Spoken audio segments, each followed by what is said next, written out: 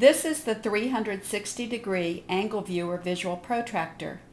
It helps students measure angles, draw angles, and understand what an angle is.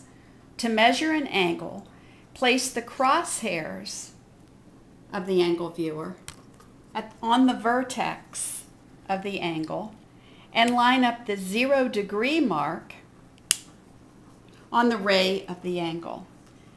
Move the dial from the zero degree mark to the other ray.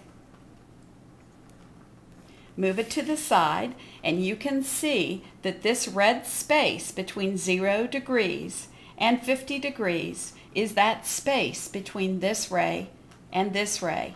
Therefore, this angle measures 50 degrees.